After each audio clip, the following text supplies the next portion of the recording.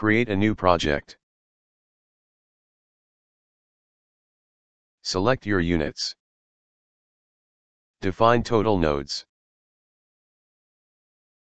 Input XY coordinates in this table.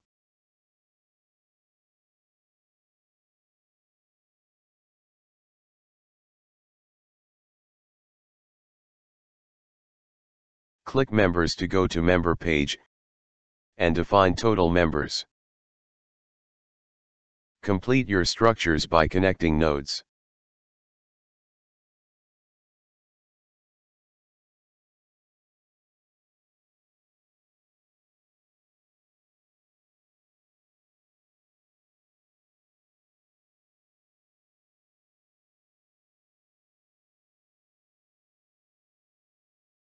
Once finished, go to support page and set supports condition. In the top right corner, you will see change in stability if we use two roller supports. Now click loads and define load position, magnitude, and angle.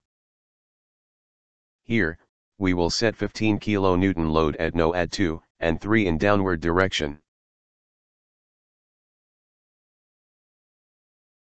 Next, set member properties. If you need more than one property, you need to go back to member page to define individual property. Here, we will set member 1, 2, 6, 7 to property number 2, and 10, 11, 12 to property number 3, and others to property number 1. In this tutorial we will go with one property. Once the setup is finished, go to displacements to see displaced shape and values. To clearly see the displaced shape use deflection magnifier.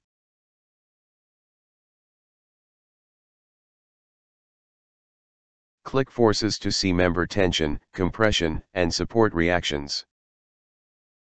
To only see the support reactions, uncheck loads, members, and nodes. From the brightness of colors you can see which member is experiencing highest tension or compression.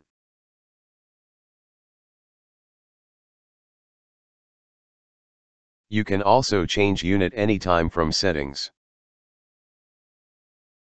Here we can change member forces, applied loads as well as length.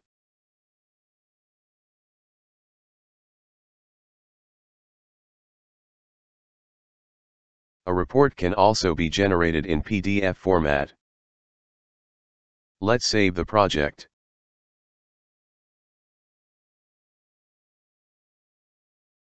Enter project name and your name.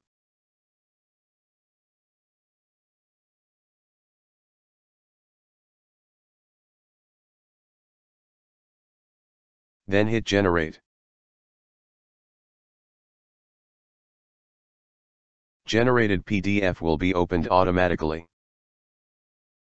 This report contains all the input and output data as well as calculations. These stiffness matrices may come in handy to verify your hand calculations.